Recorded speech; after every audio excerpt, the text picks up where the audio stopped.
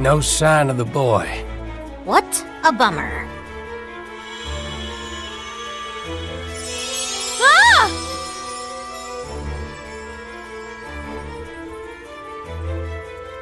Fairy godmother!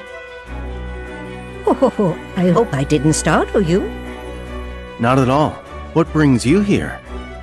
Well, dear, I was asked to come by Merlin and Master Yen Sid.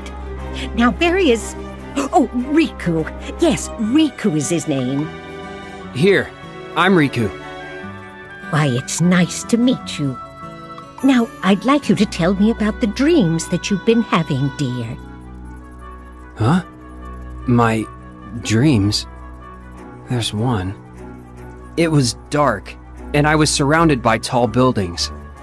I was looking around for Sora when I felt someone watching me from way up high. And? And that's all I remember. Ugh. But what happens next? Oh, I know. Huh?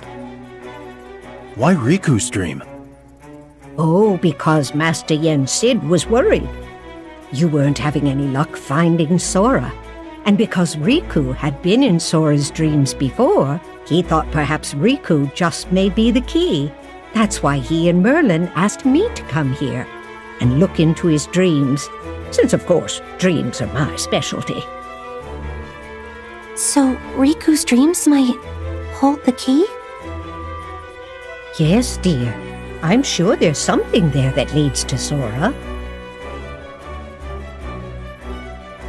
In my dreams? and the other two.